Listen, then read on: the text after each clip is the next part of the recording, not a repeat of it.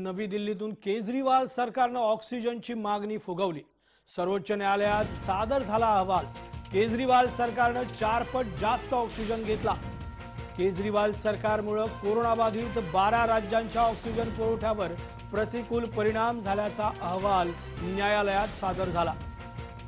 सर्वोच्च न्यायालयात हा अहवाल सादर झाला. ऑक्सिजन पुरवठा पडताळणी अहवाल.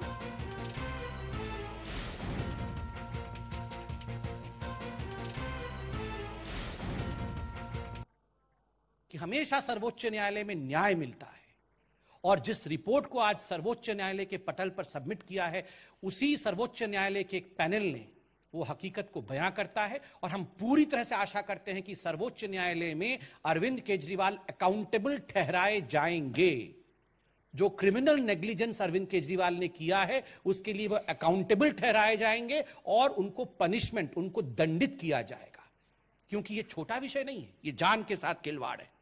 मैं उस तथा कथित रिपोर्ट का सच आपके सामने रखना चाहता हूँ। और सच ये है कि ऐसी कोई रिपोर्ट है ही नहीं। जी हाँ, मैं दोहरा रहा हूँ।